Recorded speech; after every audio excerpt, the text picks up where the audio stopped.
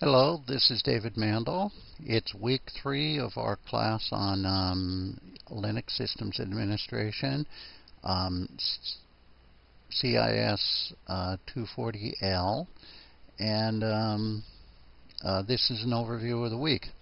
Um, we will go through the material that I've got listed here under introductory material in this video, and then the other videos will be, or the other material will be in another video under the Chapter 4 heading.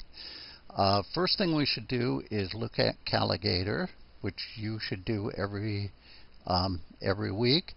Uh, Calagator this week has, um, um, well, if this week happens to be October 10th of um, 2011, has things like um, the Pacific Northwest um, Software Quality Control Conference, um, um, Ignite Portland planning meeting. Uh, Ignite Portland is kind of an open sourcey type thing. I think it's more for business. I've actually never been to an Ignite, but um, I believe those were started by John Seacrest, who is a Corvallis resident, a longtime uh, Oregon State person, um, founded the state's first um, ISP, um, plug.org, or I'm sorry, peak.org, out of OSU. Uh, it then went independent, and he ended up at the Chamber of Commerce. He's now living up in Bellingham, Washington. Um, Commodore Users Group, Innovation in Motion, um, Portland Werewolf people. That sounds pretty scary to me, um, especially as it's getting close to Halloween here. Uh, and Small Federated Wiki Work Session with Ward Cunningham. That could be a really groovy session. Um, actually, that could be cool. Ward is um, uh, a longtime Portland resident, forever and ever and ever. Um, he used to work at Tektronix way back in the old days, where he came up with the idea that we could um, build groups that could collaborate together using a technology that he called Wiki. So he is kind of the father of all Wiki things, and then, when he discovered that there was such a thing as a World Wide Web, he wrote the first wiki program to um, implement wikis um, as a wiki website. And um, so he's had a lot to do with web or with wiki activity. He's also the founder of a uh, type of programming methodology called extreme programming, and um, an interesting man. Uh, Beer and blog? That sounds cool. Okay, well, anyway, uh, let's go back to our area here. And I want to mention that um, Lab 4 is on log files, which is actually a little further ahead in the book. And in Lab 4, I said that you may want to read a little bit, bit of material out of one of the chapters way up in the book.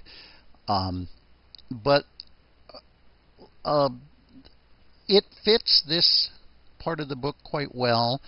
And um, so I have done the uh, log 4 or uh, lab 4 on log files for a long time, even though it's a little bit premature. But if we don't do some of the material now, we'll get really too crowded towards the end of the class. So I think it works well. I had thought about moving, um, making this lab on shell scripting. Um, and I I finally decided not to do that, but I do want to say the reason I had thought about doing that is because shell scripting is really important, and um, supposedly we're supposed to learn a lot of it in our Unix class, but um, as I understand, people don't really get to. Um, it, it, comes at the end of the class and doesn't always get done uh, as thoroughly as I would like to see it done it's um, um, it's very important because um, it's a really important tool for Unix sysadmins. Unix to be a Unix sysadmin, you really should be able to do some shell scripting. Um, and perfecting it will come with time. Um, you just need a little bit to start with, but but you know, eventually you'll you'll learn a lot of it if you're a Unix sysadmin. Uh, the grades so far look very good. Um, I'm happy with everything. Um, there are a few people that maybe haven't gotten a lab or so in. Remember, um, you have to have all your work in to get an A. You have to have all but one assignment in to get a B. So get it in. It, if it's late, that's fine. Uh, you'll get dinged a little bit, but that won't stop you from getting an excellent grade in the class. Uh, just uh, get it in because not getting it in will. Um, I was also going to mention a little bit about ethics. And um, uh, Unix sysadmins often have to deal with ethical issues. There's always these issues of how private is things, how private are files on a corporate computer, um, when has somebody really violated something serious? How do you handle it? When do you, you know, uh, ignore the problem? When do you make a big deal of it? What do you do if um, um, a supervisor asks you to do something you consider unethical? Um, systems administrators are in a position where there's a lot of ethical dilemmas. I mention that right now because this week I have spent quite a bit of time dealing with a bit of an ethical dilemma I have where um, somebody on a system didn't act appropriately and somebody didn't respond appropriately. And I'm the middle guy stuck kind of um, trying to clean up the mess or make the mess go away. And um, not always fun but um, fortunately it doesn't happen very often um, so it's just part of the job and um, once in a while it gets where you don't care for it but by and large, uh, being a, a, Linux administrator is really a good job and um, very enjoyable. Um, but dealing with ethical issues is something you have to do as part of this profession.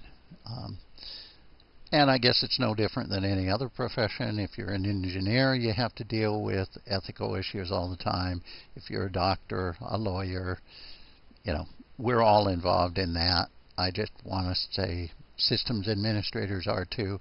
And I think it comes to the forefront for systems administrators much more often than it does if you're, say, a software engineer or a programmer, where yes, there are ethical concerns, but they're um, they're not so much uh, part of your day-to-day life. So. Okay, uh, I'm going to end this video now, and then we will start up with the videos that come under Chapter 4. So, Thank you. Mm, bye bye.